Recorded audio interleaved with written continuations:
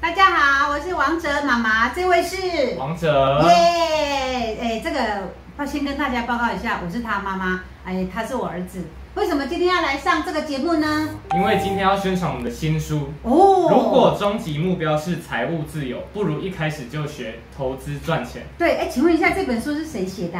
我本人。你写的？还有你本人？哎呦，对吼，哎，请问一下，你今年贵庚啊？十八岁。十八岁，十八岁，哎，在法律上算成年了吗？在民法上还没，在刑法上成年了。哦，真的。对。可是十八岁为什么会写书？我觉得很奇怪。你觉得很奇怪吗？对啊，十八岁的小屁孩，哎，对不起，不能说小屁孩，十八岁的大，十八岁的小孩子，不是应该要乖乖的念书啊？你们高三不是要准备学测吗？啊，学测考得好啊，就不用准备职考。啊，如果职考考不好，不是要准备？学测考不好要准备职考，对啊，职考考不好就准备明年重考嘛，对不对？对。那你应该在念书啊，你没事来写这本书干什么？我要找个借口嘛，不然我还要准备职考，学测考爆了。好，你学测学测考爆了，所以要找个正事来做。但是不想读书，那不如就把自己一些想法跟对理财方面的观念，想跟大家分享一下。哦，可是一个十八岁的小孩，高中三年级。刚刚学测结束以后，你有什么理财的观念跟大家分享？你年纪那么小，小朋友不是都一直在念书吗？哎，幼稚园、国小、国中、高中，对呀，你哪有理财的观念呐？一般人会觉得哦，十八岁什么都不懂。对，当然我也不觉得自己懂很多，但是我投资有差不多六七年。哦，原来那那那哎，等一下等一下，六七年感觉像老手。不是新手，不敢说老手，但是会有一些经验跟想法可以传递给哦想要学投资的朋友们。如果他很年轻，想要对未来做财务规划，嗯，可以赌。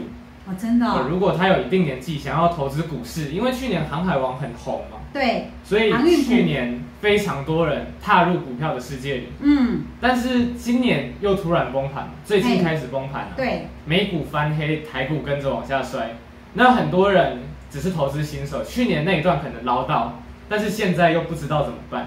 哦，哎，可是你这样子讲，听下来你真的是一只老鸟，老鸟，不年轻啊，不年轻。年纪虽然很轻，但是在在理财的这一块哈，其实他真的就是个老手。可是很多人都会觉得很奇怪啊，你为什么对理财这么有兴趣？十八岁的小孩耶，我觉得这个问题要问你。为什么跟我有什么关系呀？你是怎么培养出一个投资人的？你从小分享了什么观念、什么教育？哦，要跟大家分享看看。要跟大家分享哎，这个可以讲吗？讲啊！我我觉得我不太好哎。没关系啊。真的吗？试试看啊。哎哎哎，会不会等一下那个影片播出去，然后大家来公干我？顶多剪掉。好了，那我就很诚实的跟大家分享哦，然后。然后看到这个影片的所有家长们，不要打电话来骂我哦，哎，不要在下面留言 PK 我，好，哎，也不要来挑战我，因为不要当酸民。对对对，然后主要为什么我会这样子教他？因为我我觉得我是一个白痴妈妈，我不是一个很聪明的妈妈。为什么？因为我从小功课就不是很好，然后我从幼稚园就翘课了，然后国小也翘课，啊，后面当然不用讲了，一定必翘。没没哎，我发誓，我现在觉得我讲的都是真的。然后为什么幼稚园就开始翘课？因为很无聊啊。哎，不是，我那无聊是后是国小以后，然后我幼稚园开始翘课，是我爸爸骑摩托车，叫啵啵啵啵啵，然后载我到幼稚园门口。啊，幼稚园的门口因为跟国小，呃，国小附设幼稚园在合在一起，合在一起，所以很多人上学。然后我爸把我放在门口以后，啊，然后我就往前面走。往校门的方向对对对，往校门的方向走，然后我就听到我爸爸摩托车啵啵啵啵就离开了，因为他想说他已经送到校门口了嘛，他想说我一定会进去。是的，我进去了，又出来了。我听到他的摩托车的啵啵啵声音走了以后，老娘马上向后转，只是一个假动作。对对，然后我就出去玩了。我才幼稚园我就出去玩嘞，然后因为还好那时候的社会还不错的哈啊。很淳朴的时代对啊，可见我多么不喜欢去幼稚园啊！其实没有什么理由，老师也很好，同学很好，但是我很害怕，我很害怕一群陌生人。对我那时候六岁来讲，哎，还是七岁，差不多了。差不多那个年纪，我觉得我很害怕，然后去，然后手要动啊，脚要动，就很不喜欢。体育课。对，然后就不是体育课，就唱唱跳跳。哦我最喜欢就是在吃点心的时间，然后 对，可是我不愿意为了吃点心，我花了一整天的时间在那边待着，所以我就出去玩去看人家种菜，因为我的兴趣就是去种菜。是对，我就觉得种菜好好玩，它会长大。然后后来国小以后也是这样，我小一我也开始翘，就不断的翘。然后后来这样怎么讲？这样有点不好意思。没有关系，跟大家分享 真的吗？就真的吗分享嘛。后来我爸妈不知道我翘课，有一天有一个阿公跑去我们家，因为我们家开电器行有店面，他就说：“哎、琳达那个阿玲啊，那要无去好好读册，那底下看我种菜呢。”然后我爸妈说：“那有可能，你都会再给送去邮递行门口啊。”伊讲无呢，伊伫遐菜园看我种菜，看了整整种规工。一整天，都不在学校里，对，然后后来被他们发现，就抓抓着我，就把我拖去学校。正独大。各位，什么叫拖着走？就是一个小孩说啊，我不要，我不要，我不要去上学，就我不要吃肯德基。然后我就这样，我不要去学校。然后他就，我就躺在地上哦，各位躺在地上，然后两只手他们就这样给我拖拖拖行，你知道吗？各位，那对我来讲是一个噩梦，所以我当下我就发誓，我以后有小孩，我绝对不会逼着他去学校念书，我会尊重他个人的意愿，我会跟他好好沟通。这样你了解吗？啊，观众了解吗？我当然了解啊。但是因为我不会逼着小孩一直去念书，等于说相对的，我不会一直逼着他去做他不想做的事情。所以我从小栽培王子，不要说栽培了，其实我我什么也不懂，我不是怎么念什么幼保系什么什么的，然后学历也没有像我们所有的朋友们那么高，我只是照着。诶，老娘自己的方式想怎么教就怎么教，因为我觉得哈，我看完很多那个育儿的课程，会想要靠你讲的是一套，做的是一套，根本就是两回事。你理知道论跟实际是差很多的。执行多么困难？你以为小孩叫你，你叫他往左边，他就会往左边吗？不会，他一定会往右边。搞不好还躺下用滚的，所以我后来发现，哎，我要顺势而为，还要干嘛就干嘛妈妈就配合你我们来讲一下当初是怎么碰到股票。好好，来来来来来。当初是你的朋友介绍你玩股票，哎，没有，其实我二十出头，所以我就有买，也是我同事叫我买，我就买，我就买了台化跟那个。哇，还要买一家我忘记了，反正后来都卖光光了，因为结婚以后需要钱，也不知道养小孩那么贵，所以哎，在看书的这些朋友真的对你爸爸妈妈哈孝顺一点点。然后后来卖掉了以后，又隔了十一二十年以后才又碰到股票，在王者小小五小六，对，然后那朋友就教我说啊，梅子你要把钱投资在股市啊。我说好啊好啊，那要怎么弄？去银行开证券户。但是你知道吗？我们当年我年轻的时候买股票是打电话给那个证券行的小姐说，哎、我要买什么当时还？没电子化，对，后来妈妈嘞，现在是用手机耶，直接下单，我怎么可能会？然后我就带着我儿子，我就想说啊，我要银行开户啊，我要带着他一起说啊，就就带着王者一起去。对，结果他都搞不懂，我全部搞得懂。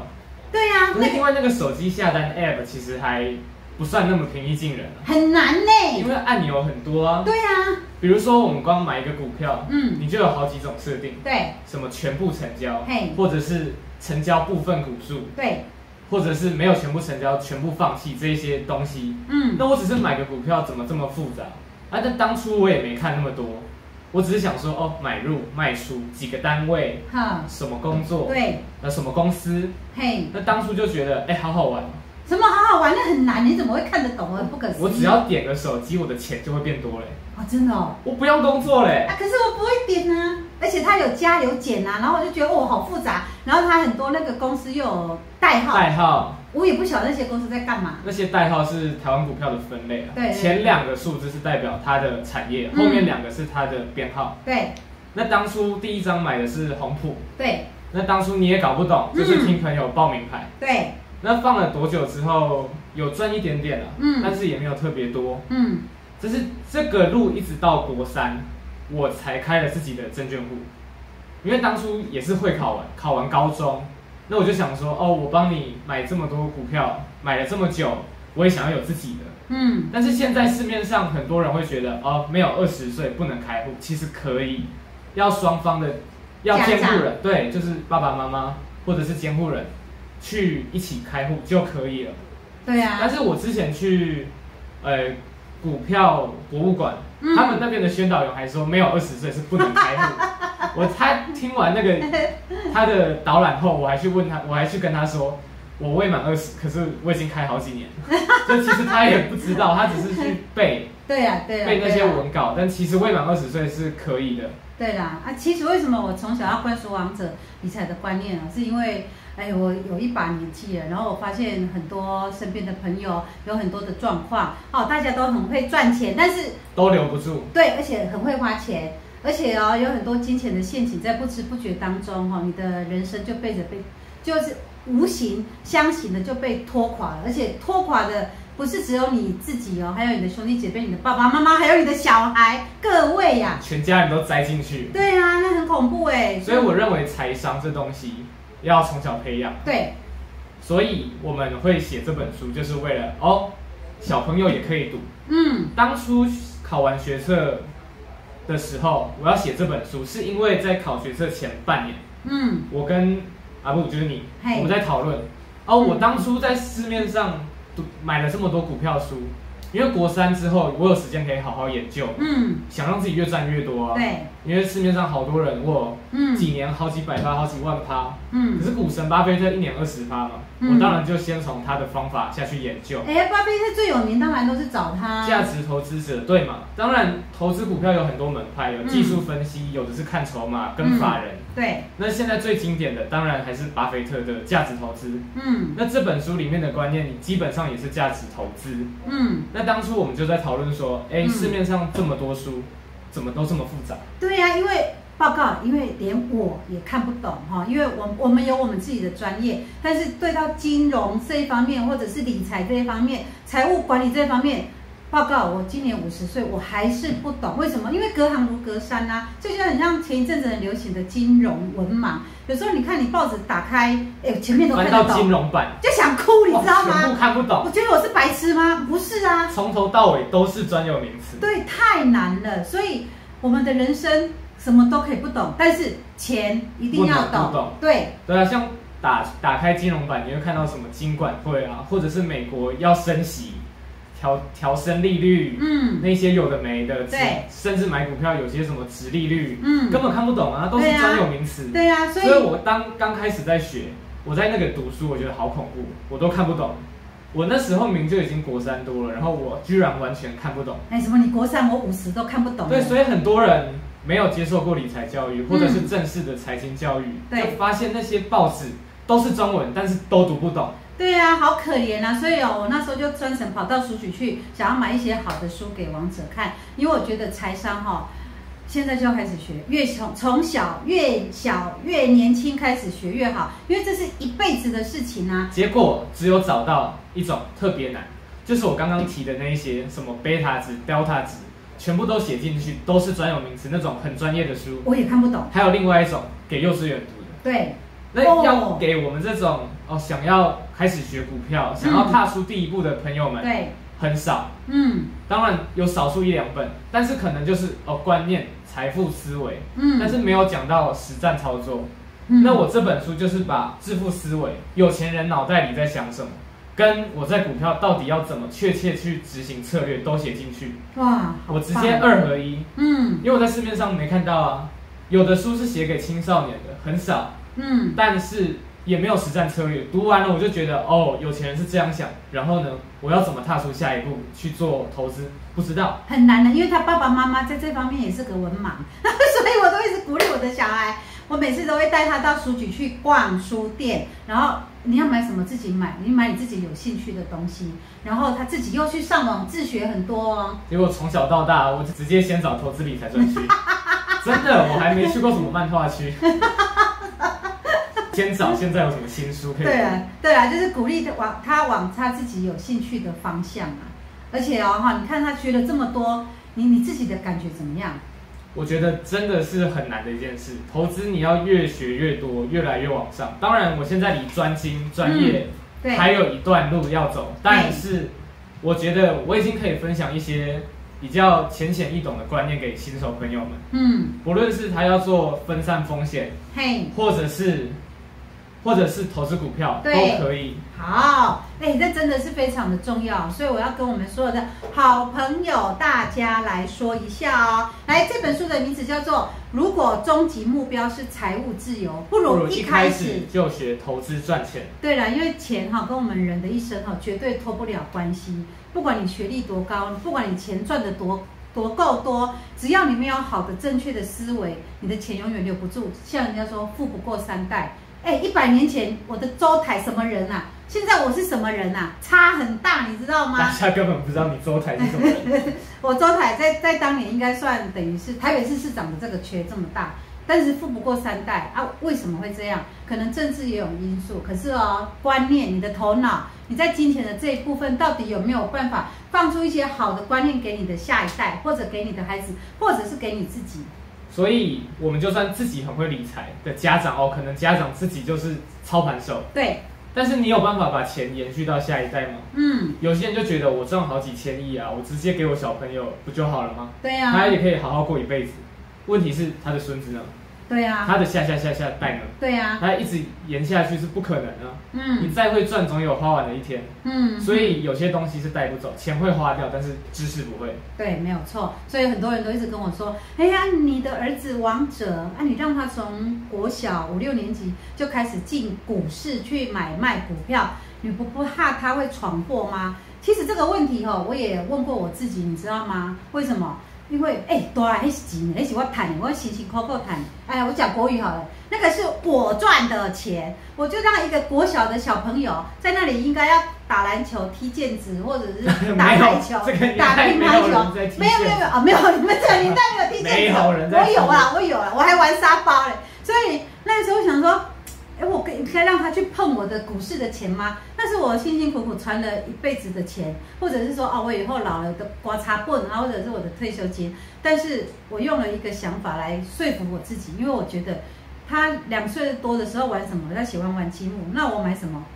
买积木啊，嗯对不对？好，然后后来长大了喜欢玩乒乓球，那我就买球拍啊。后来喜欢打篮球，就给他买篮球跟球鞋、球鞋。啊，后来喜欢变魔术，要买道具啊，对不买？扑克牌，买扑克牌，我就什么都买。那他喜欢玩股票，我为什么不给他钱呢？当然，我这样讲，我相信很多家长一定不同意。对了，不认同，因为我会我会鼓励他玩，而且我会鼓励我儿子翘课，我会鼓励他，你如果不想上学，那你就请个假单，就直接走出校门，没关系，就跟妈妈讲，你只要去哪边告诉我，我鼓励他去自诶自主学习，找一些他有兴趣的事情来做啦。对啊，然而我遇上的就是股票。当初国三以后，我就开始研究更多，后来发现哇，台股一次都要买一张，因为零股比较难买卖。对但是前阵子盘中零股突然可以了，对，对，可是三年前的时候还不行，零股还是比较难做买卖的时候，嗯我就把它把我的股市的钱，大概在高二高三的时候，我把它转到美股去。那为什么我要选美股不是台股？因为美国的股市的公司我有听过哦，台湾的我都很少听，台湾只知道那几家。台湾如果你在股市很久，你可能才会听到比较多公司的名字。对，没错。但是你去问路人，哦，嘿这间公司是干嘛？那间公司是干嘛？嗯没有人知道啊。对啊，但是美国的股票呢，跟我们生活都息息相关。来，比如说有哪几家嘞？比如说，来我的手机，来，这只是什么？苹果是 Apple 对不对？对对，Apple 我知道哦，靠一声的苹果，那 那是什么东西？那是什么那？个是真的是苹果，那个只是它的名字而已，好不好？就是苹果手机啦，哈，大家都有知道了。代号 AAPL。啊，对啊对啊，那还有什么？哎、呃，Nike。Nike 球鞋我知道，这个我会买给我儿子穿，我自己也会买。那平常我们会喝什么？星巴克。啊，对，咖啡，它是全世界连锁的。对，所以这些公司都围绕在我们的生活周遭。嗯，我们不用再去研究说，哦，这家股票是干嘛？我听到这个名字，我要去查，看它嗯财务报表，看它公司历年表现。你如果投资的是美股，你很熟悉它在干嘛。嗯我听到苹果，我听到特斯拉，我听到其他的很熟悉的东西，我都知道他们在干嘛。嗯而且你不用怕他们倒。对，苹果，你觉得它会倒吗？就算会倒，也不会是最近的事情，可能二三十年后吧，也许。嗯，但是近十年来说很安全啊，就是世界上最大的厂牌。哦，哎、可是我觉得啊，买美国的股票会不会拿不回来啊？像因为我对这个不是很懂，知你知道吗？是，但是拿不回来，你要看券商嘛。嘿，嘿你如果找到一些很危险的券商，不行啊。嘿，你如果在台湾嘿，你用台湾的户头，你去做副委托，可以买美股，嗯可是缺点是副委托的手续费很贵。嘿，那 First Trade 这是其中一个嘛，还有 M Trade 很多、嗯这些比较嗯安全、比较大牌的，大家都可以去找交易商。嗯嗯，那每一家都会有它自己的特点。哦，真的、哦，原来买美国的股市是这么简单的事情，我我以为很难，你知道吗？因为我想说，我光是买台湾的股票就已经，哎，让我觉得很头痛了啊。那买美国的股票好像比较简单，因为他们都是大公司啊。像台湾的股票，我如果要买的话，哦，我还要去研究这家公司是买卖什么，它是做什么，然后它的未来通路在哪里，然后它的赚钱企业发展企业发展，它的股利可以每个年配息给我多少？后来王子跟我说什么，你知道吗？他说：“你说什么？美国的美国有一家房地产，对它的代号是 O，那他这家很厉害哦，每年股价都稳定成长，对以外，他每个月都配息。每个月听，哎，不是听友啦，观众朋友，观众朋友，每个月有个人哈啊，都丢钱到你的户头，你觉得爽不爽？一定爽的嘛！你不用上班呢，你不用每天遇到一些你不喜欢的老板，那 在那嗯嗯嗯，哎，不喜欢，不用遇到一些不喜欢的同事，在那嗯嗯嗯的话，我们就好好存钱，好好来买一只稳定配息的公司，每个月会钱，不像台湾是一年才配一次哦。台湾也有一些公司一季配一次，但是几乎都一年一次了。没有一季跟每个月听起来当然是每个月啊，就像我们女生每个月该来的就来，她不对来你就会很痛苦，你知道吗？好，好，我儿我不知道怎么接下去。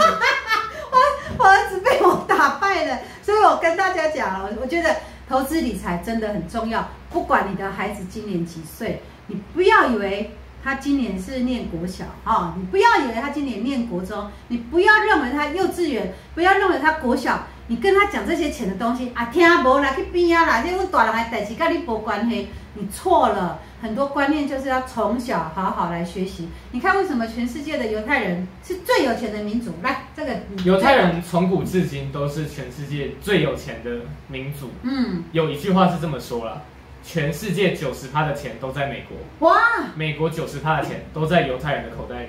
哦，你看他们多会赚钱，真的、哦，那我下辈子要当犹太人。像是前世界首富比尔盖茨嘛，嗯，他的偶像是洛克菲勒，对对，我知道。石油大亨啊，嗯他太强了，他就是犹太人的一员。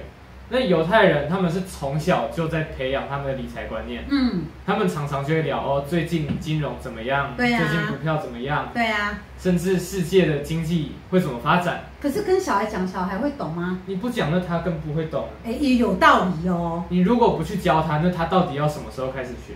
嗯，长大嗯之后再开始嘛？那对，提早学不是更好吗？从小建立正确的观念，嗯这样不是更好吗？对啊，对啊，我跟你讲，我觉得台湾人很缺这一块，为什么？因为台湾的人的教育都是一直填鸭式的教学，就是把小孩送到学校啊，学校大门口关起来，小朋友就在里面上课，其实教的东西都一样。我我觉得那有点像工厂，对对对对对，你不觉得很像那个人肉工厂吗？这样讲会不会？会不会教育部部长找我喝咖啡？我来分享一件事好，好学校这个制度一开始就是工厂，为什么？他是为了训练一批一批制度化、大家脑袋都一样的嗯，工人，对所以他们才做出学校这样的形式。嗯，所以学校的本质就是打造出一模一样的人，对呀、这不合理耶。所以我们每个人都很难发展自己的特色跟方向。嗯嗯嗯，那你觉得你爸妈的对你的教育跟同学有什么不一样？你们比较会让我自由发展，嗯嗯，当然该读的书我都有读了。哦对了我学测还是很认真在读哦。我也不是学测前半年讨论这个 idea 就写，我也是考完学测才开始动笔。对，那写了差不多半年，就是把我投资这么多年的一些想法、经验，觉得犯过的错，新手可能会有一个迷失、嗯思维误区，对，都写进去做提醒。哇，哎，好棒哦！你你同学知道你出书，他们的反应是怎么样？他们都觉得哇，哇，太扯了吧！啊，你的老师知道你出书，他们反应怎么样？我的老师还，我的教授还不知道嗯，刚开学嘛，哦哦，你不好意思跟教授说就对了。面试的时候提过了，不知道他们记不记得。对了，对了，对了，我我是觉得哈，不要跟全台湾的小朋友做一样的事情，也不要跟别人走一样的路。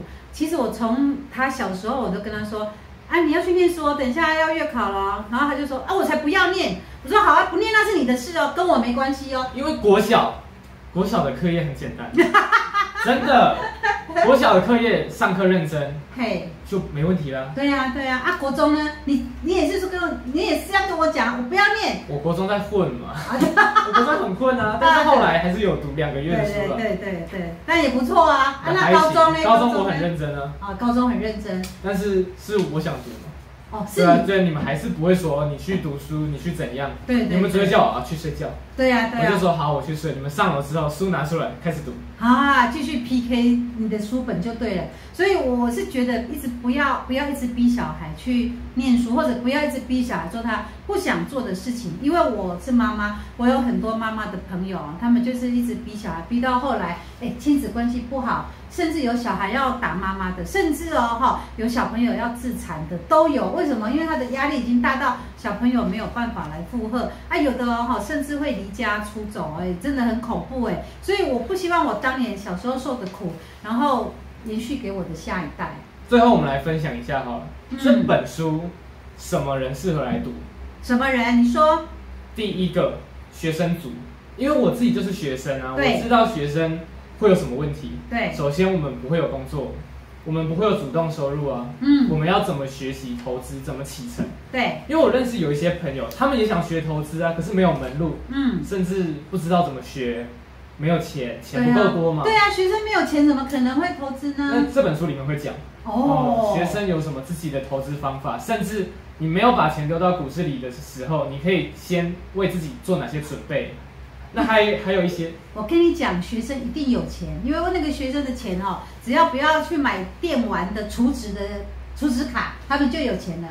在适当的配置下 去买也是不会有问题。那也不错，不错，不错。对，但是你要配置的好嘛，你不要全部砸下去，自己没钱吃饭。对啊，对啊。那这本书里面会讲，还有，一些人是什么理财小白，他们想要学股票，嗯，想要学怎么投资，对学有钱人要怎么思考，思考的方式，那也很也很适合来读，因为这本书我就是专门设计给理财新手的，哦，哎，很适合我哎。因为我当初就是觉得哇，我现在新手，怎么市面上的书专有名词都这么多，我都看不懂哦。所以里面我就用很浅显易懂的方式分享给大家自己的投资经验跟观念，还有一些一定要知道的知识。那第三个还有是什么？想要提高收入的社会新鲜人。嗯，因为现在社会新鲜人薪水普遍比较不会那么高，大概他们说二十二 K 啦，大学应届毕业生的平均标准。我跟你讲，二十二 K 很少哎。对啊，就算三四万，就算十万好了，对，你要再买个房子也很难吧？真的很难呐、真现在的。房子嘿，都很贵啊，尤其台北嗯，长成什么样子？对呀、随随便便一个公寓哦，就要一千多万，而且还是好几十年，还不是新的嘞。对啊，那还有一些是什么？月光族，对呀、他可能薪水已经出社会一阵子，嗯。好几年，可能三四十岁，嗯，就是薪水其实不少了，已对。经不少了，嗯。但他还是月光族，对呀、他不知道要怎么好好的规划自己的财务。对这其实他也不是故意的，可能就是没有学过对，他从来规划。没有，从来从来没有这方面的相对的财商啊。对他想学习，但是不知道怎么下手，嗯嗯嗯，所以这本书很适合新手。哇，真的好棒哦！你想要学习投资，想要换个致富的思维，对都可以来读这本书。哇，甚至有些老手会犯的错误，不是进股市很多年嗯，就叫做老手，对，是你能稳定获利，这才是我们要的。哇，我我听到稳定获利这四个字，我的眼睛都亮起来，你知道吗？觉得我的人生充满了光明。对啊，那这本书也会教你我要怎么分散风险。哦哦，这个更重要。对，分散风险这个是投资里面不可忽略的一件事情。对啊，很多人都说哦，高高风险高报酬，但是很我听过很多朋友都在股市上有赔了钱。